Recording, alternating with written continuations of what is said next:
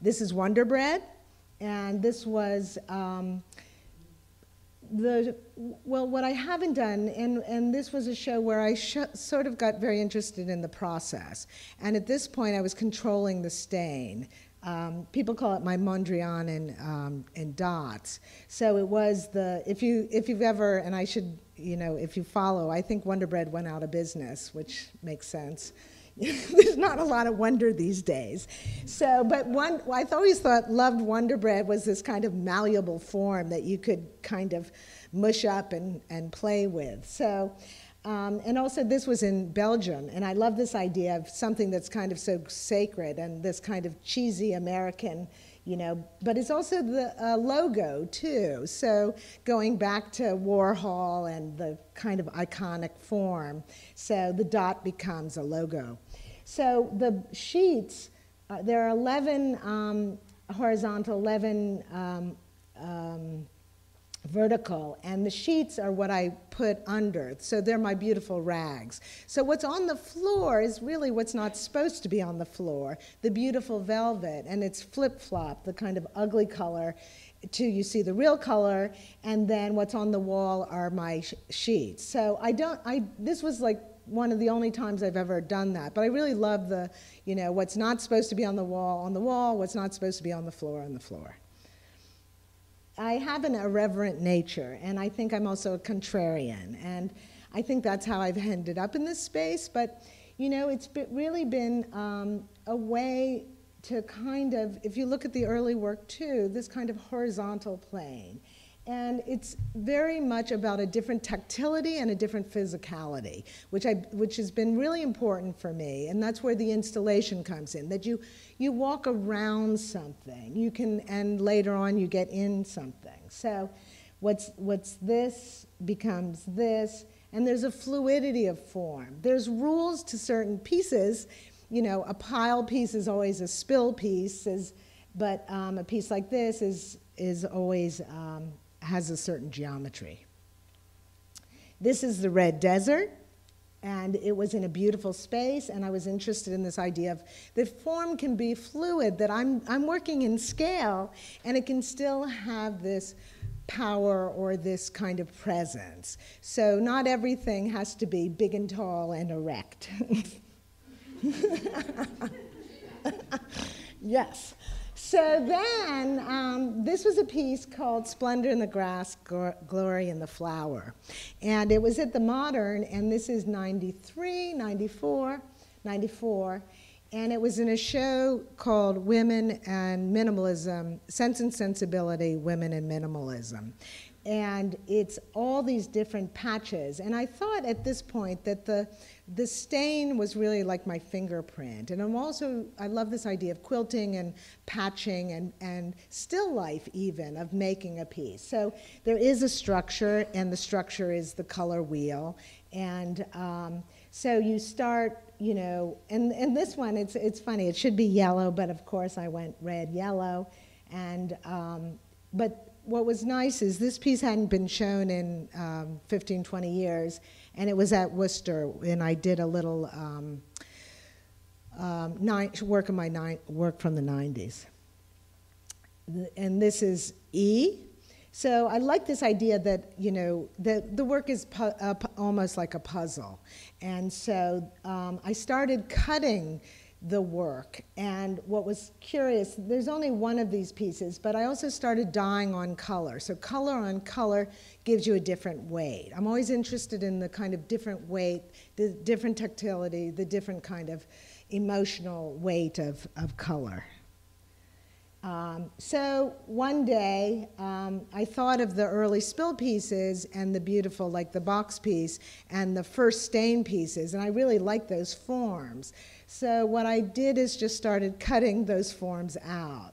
So everything is hand cut, hand dyed, and um, nothing's ever glued down. So the work um, has, and this was in um, Soho, and it was the first of these shows, and the piece is called Eclipse. And so you can see going back to the, um, it following the structure of that, the color has four different um, structures, almost like little islands. And it was the first piece you really could walk through and in. And I really like this idea that you're in a painted space. So I cut out the fat, got rid of the white, and started dyeing. And then within the colors, sometimes you see the opposite hue because I think it's, it's really interesting to, you know, there's a lot of yellows I can get, but it's really nice to put its opposite. There's a lot of browns and blacks, but it's really nice to put the opposite.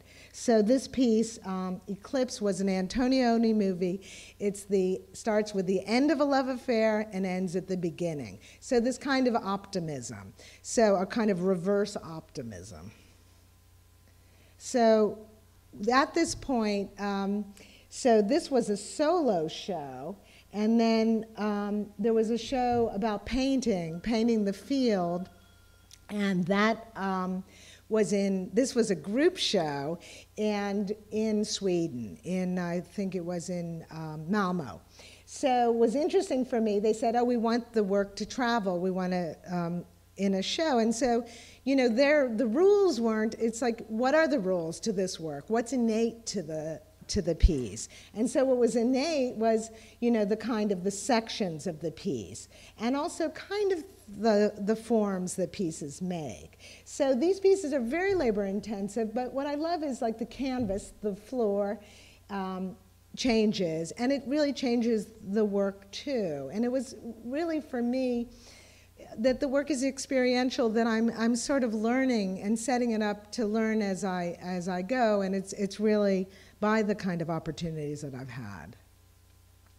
So um, a, this was also in Sweden, and I, I think that um, I have one side of my brain that loves excessive and kind of um, extravaganza and um, I think it's obnoxious too, but, and then I love this kind of structure and very simple structure. And this is sort of my sweater set or my Ellsworth Kelly um, on the floor. But I've always loved um, ge- simple uh, geometric abstraction. And I think in another life I probably was one, but it, it comes out this way. And these are different kinds of fabric. So I'm always experimenting with different kinds of fabric. The first materials that you saw, it was crushed stretch velvet. And I was really interested in the fact that you look at it and you can never really get a sense of it.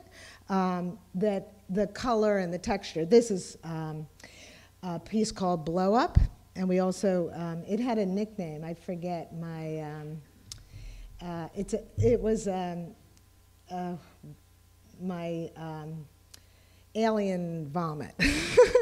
So but it's a beautiful alien vomit. So um, but this one had no rules. I could dye any color and any structure and then it was all. But if you can see the kind of quality of the light, I was really interested in by using fabric that that's not even made anymore. I would go to, um, that's what's so great about New York, I would go to um, and buy a lot of remnants in the fabric district. So I just was working with fabric that really, um, the, as I always say, gravity's my best friend, that really took dye very well and that kind of um, would lay flat.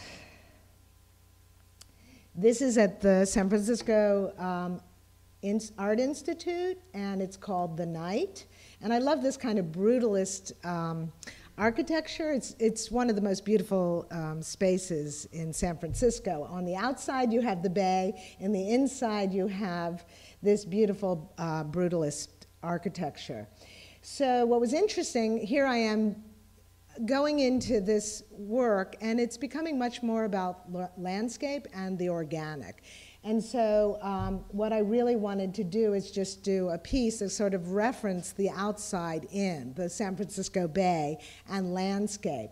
But when I started out, you know, that's what I think is really wonderful as an artist to kind of pay attention to let the work lead you. And so, this was a very large scale installation. I made everything in my studio, packed it in a bag, in a box, and then kind of worked in the space. So everything is, is very improvisational and um, situational.